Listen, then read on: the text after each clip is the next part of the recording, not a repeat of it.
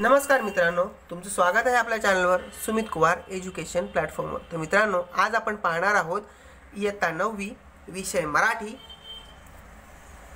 तिस तिसरा तिसरी लीळा कीर्ती काठियाचा दृष्टांत.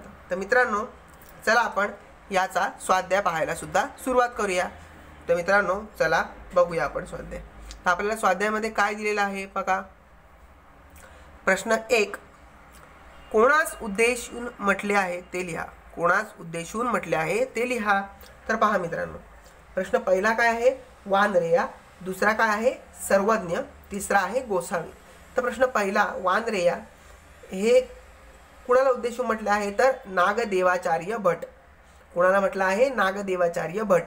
आता सर्वज्ञ हे कुणाला उद्देशून म्हटलं आहे? श्री चक्रधर स्वामी. श्री चक्रधर स्वामी. आता तिसरं गोसावी.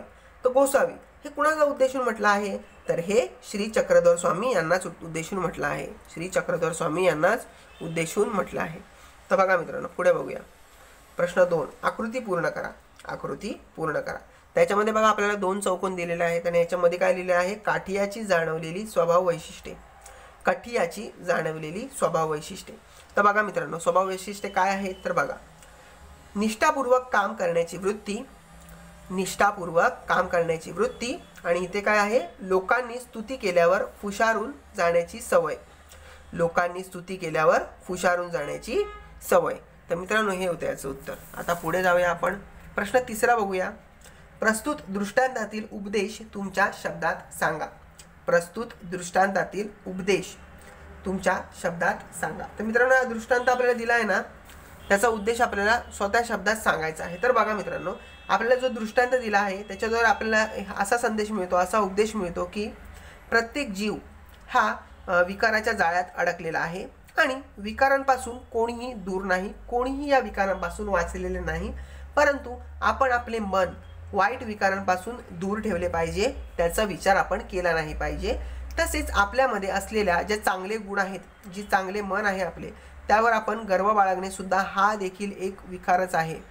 म्हणूनच मित्रांनो वाईट व चांगल्या वाटणाऱ्या सर्व विकारांपासूनच आपण माणसाने स्वतःला अलिप्त ठेवले पाहिजे स्वतःला दूर ठेवले पाहिजे आणि स्वतःचे मन नेहमी प्रसन्न ठेवले पाहिजे किंवा शुद्ध ठेवले पाहिजे. असं या शब्द असं मला वाटतं मित्रांनो या दृष्टांतातील मला समजलेलं मला समजले मी तुम्हाला तसं सांगितलं आहे. तर मित्रांनो या प्रस्तुत दृष्टांतातील उपदेश महाशब्दात मी तुम्हाला सांगितलेला आहे. तर तुम्हाला कसा वाटला मला नक्की सांगा कमेंट्समध्ये. तर प्रश्न चौथा बघूया. पुढील प्रश्न चौथा पुढील शब्दांना प्रमाण भाषेतील शब्द सांगा.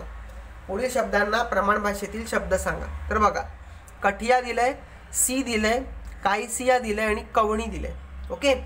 तर बघा कठियाला आपण काय बोलू शकतो? कठियाला बोलू शकतो पुजारी. ओके? कठियाला बोलू शकतो काय? तर पुजारी. सीला काय बोलू शकतो? तर थंडी. सीला काय बोलू शकतो? थंडी. कायसियाला काय बोलू शकतो? कसली. कायसियाला काय बोलू शकतो? कसली. आणि कवणी. या कवणीला आपण काय बोलू शकतो मित्रांनो? तर बघा कवणीला आपण काय बोलू शकतो? तर कोणी. कवणीला काय बोलू शकतो? कोणी. कठिया पुजारी सी थंडी कसली कासिया कसली आणि कवणी म्हणजे थंडी. ओके? तर आपण हे प्रश्नाचं उत्तर आता पाहून घेतलं आहे. आता पुढच्या प्रश्नाकडे जावे माफ करा कवणी म्हणजे कोणी. कवणी म्हणजे कोणी. प्रश्न पाचवा. आपल्यातील गुण. हाच अवगुण होऊ शकतो हा विचार प्रस्तुत पाठाच्या आधारे स्पष्ट करा. आपलातील गुण हाच आपला अवगुण होऊ शकतो. हा विचार विचार प्रस्तुत पाठामधून आधारे स्पष्ट करा. तर बघा मित्रांनो याचं काय आपण म्हणू शकतो याचं उत्तर बघा. तर पहा मित्रांनो आपल्याला ह्या जो आपला जो हा दृष्टांत आपल्याला सांगितलेला आहे त्या दृष्टांतामध्ये आपल्याला काय बघा एक पुजारी असतो तो मंदिराची देखभाल करतो. तेथील साफसफाई करतो. आणि सगळ्या गोष्टी तिकडे करतो. म्हणजे ज्या मंदिरात मंदिरामध्ये आहेत त्या. तर मित्रांनो सुंदर रांगोळीसुद्धा काढतो. हे सगळे पाहून ना तिकडची लोकं आहेत गावकरी आहेत त्या पुजाऱ्याची स्तुती करतात. तुम्ही खूप चांगले काम करत आहात. तुम तुम्ही खूप चांगले देखभाल करत आहात. अशा गोष्टी ते त्यांचं कौतुक करतात त्यामध्ये. तर लोकांच्या या स्तुतीमुळे पुजारी अधिकाधिक चांगलं काम करू लागतो. अधिकाधिक मन लावून काम करायला लागतो. त्याची कीर्ती सगळीकडेच पसरते. त्याला स्वतःमध्ये असलेल्या चांगल्या गुणांचा चांगल्या सवयींचा गर्व येतो. आणि याचा परिणाम काय होतो मित्रांनो? त्या त्याच्या फक्त कामाचे कामाची कीर्ती हेच त्याला फळ फक्त मिळते. बाकी त्याला काही मिळत नाही. आणि अन्य कोणतेही त्याला फळ मिळत नाही. अशा प्रकारे मित्रांनो पुजाऱ्यातील गुण हाच त्याचा अवगुण झाला. पुजाऱ्यातील गुण हाच त्याचा अवगुण झाला. आता प्रश्न सहावा. पाठातील दृष्टांत वेगळ्या उदाहरणाद्वारे स्पष्ट करा. पाठातील जो दृष्टांत आहे तो वेगळ्या उदाहरणाने स्पष्ट करा. तर मित्रांनो आपल्याला वेगळं उदाहरण कुठलं देता येईल? तर आपण जरा बघूया. तर पहा मित्रांनो इथे मी तुम्हाला माझ्या आयुष्यातील एक उदाहरण सांगतो. तर पहा मित्रांनो माझा एक मित्र होता. तर तो नेहमी सुंदर चित्र काढायचा. आमच्या आम्हाला एवढं जमायचं नाही जेवढं त्याला उत्तम प्रकारे जमायचं. तर मित्रांनो सगळीकडे शाळेमध्ये प्रत्येक वर्गामध्ये त्याचं कौतुक होऊ लागलं. तर त्या कौतुकामुळे प्रथम त्याला खूप आनंद झाला आणि त्यानंतर तो अजून खूप चांगल्या प्रकारे चित्रवित्र काढायला लागला. पण नंतरला काय झालं मित्रांनो त्याला त्याच चांगल्या गोष्टीचा गर्व होऊ लागला. मग नंतरला तो ह्या गोष्टींचा गोष्टींचा मात्र मित्रांनो गर्व बाळगू लागला. त्यामुळे मित्रांनो तो चित्र चांगला काढू लागला. पण त्याची लोकांना बोलतात ना की जसं त्याचं पहिलं लोकांबरोबर नातं होतं तसं ते राहिलं नाही. कारण की त्याला त्या गोष्टीचा गर्व झाला होता. तर मित्रांनो ह्या गोष्टीमुळे मित्रांनो त्या त्या मित्रालाच नुकसान झालं. तर मित्रांनो अशा गोष्टी माझ्याबरोबर घडलेल्या आहेत. तर मित्रांनो हे माझं उदाहरण सांगितलं. तुमचं उदाहरणसुद्धा मला कमेंट्समध्ये नक्की लिहून पाठवा. तर मित्रांनो आता पुढच्या प्रश्नाकडे जाऊया. भाषा अभ्यास. तर भाषा अभ्यासामध्ये आपल्याला काय दिलेलं आहे बघा मित्रांनो. दोन. व्यक्तिरेख अलंकार. व्यक्तिरेख अलंकार. तर बघा मित्रांनो. खालील उदाहरण वाचा व समजून घ्या. खालील उदाहरण वाचा व समजून घ्या. उदाहरणार्थ अमृताही अमृताहुनी गोड नाम तुझे देवा. अमृताहुनी गोड नाम तुझे देवा. तर वरील उदाहरणातील उपमेय काय आहे? उपमेय काय आहे मित्रांनो? देवाचे नाव हे उपमेय आहे आणि उपमान काय आहे? अमृत.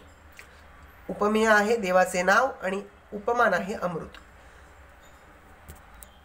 मित्रांनो या उदाहरणामध्ये काय सांगितलं आहे की देवाचे नाव हे अमृतापेक्षा सुद्धा गोड आहे असं याच्यामध्ये सांगितलं आहे. आणि उपमेय हे उपमानापेक्षाही मोठे आहे श्रेष्ठ असते. तेव्हा व्यक्तिरेख अलंकार होतो. ह्या गोष्टी आपल्याला याच्यामध्ये सांगितलेल्या आहे मित्रांनो. तर आता मित्रांनो आपण पुढे जाऊया. तर बघा मित्रांनो वरील उदाहरण परमेश्वराचे नाव गोडी गोडीच्या बाबतीत अमृतापेक्षाही श्रेष्ठ आहे असे मानले आहे. आणि जेव्हा कोणत्याही काव्यात वा काव्यात उपमेय हे उपमानापेक्षा श्रेष्ठ आहे तसेच मानले जाते. तेव्हा तिथे व्यक्तिरेख अलंकार होतो. तर आता आपल्याला काय खालचं उदाहरण बघायचे खालील उदाहरण अभ्यासा व तक्ता पूर्ण करा. खालील उदाहरण अभ्यासा व तक्ता पूर्ण करा. तू माहुलीहून मयाळ. तू माहुलीहून मयाळ. चंद्राहुनी शीतल. पाणीयाहुनी पातळ. कल्लोळ प्रेमाचा. पाणीयाहुनी पातळ. कल्लोळ प्रेमाचा. तर मित्रांनो बघा ह्याच्यामध्ये आपल्याला मोठा तक्ता दिला आहे. त्यामध्ये काय दिलं आहे? उपमेय तू परमेश्वर गुरु. तू परमेश्वर गुरु. आणि इथे उपमान दिला आहे आणि समान गुण दिला आहे. ओके? तर उपमानामध्ये आपल्याला मध्ये काय दिलं आहे चंद्र आणि समान गुणमध्ये काय दिलं आहे पातळपणा तर आपल्याला मित्रांनो याच्यामधूनच इथे उत्तर बघायचं आहे शोधायचं आहे. तर उत्तर खूप सोपं आहे मित्रांनो. तुम्ही करू शकता तर बघा. तू उपमानमध्ये काय आहे? माऊली येईल. माऊली. आणि समान गुण काय आहे माऊलीचा? मायाळूपणा. माऊलीचा समान गुण मायाळूपणा. चंद्राचा गुण काय मित्रांनो? चंद्राचा गुण शीतलता. चंद्राचा गुण शीतलता. आणि पातळपणाचा गुण कशामध्ये येतो? पाणी. इथे मित्रांनो येईल पाणी. लक्षात घ्या. इथे येईल पाणी. पाणी कारण की काय बोलले पातळपणा पाण्याचा. तर मित्रांनो आपण यांचा सुद्धा स्वाध्याय या दृष्टांचा सुद्धा स्वाध्याय पाहून घेतला आहे. तर मित्रांनो तुम्हाला हा स्वाध्याय कसा वाटला? मला कमेंट्समध्ये नक्की लिहून पाठवा. तुम्ही जर चॅनलवर नवीन असाल तर चॅनल लाईक शेअर आणि सबस्क्राईब करायला विसरू नका. बाजूची बेल आयकॉन दाबा जेणेकरून येणारे नवीन नवीन व्हिडिओ तुम्हाला प्रथमता पाहायला मिळतील. मित्रांनो व्हिडिओ पूर्ण पाहिल्याबद्दल धन्यवाद. भेटूया असेच नवीन नवीन धडे नवीन नवीन कविता त्यांचे स्वाध्याय घेऊन आपल्या यूट्यूब चॅनलवर तोपर्यंत मित्रांनो बाय बाय काळजी घ्या आपली.